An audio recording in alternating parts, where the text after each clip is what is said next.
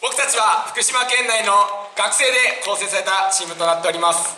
本日2回目の演舞となります。さらにさらにレベルアップした原始の演舞をご覧いただきたいと思います。それでは参ります。気をつけ！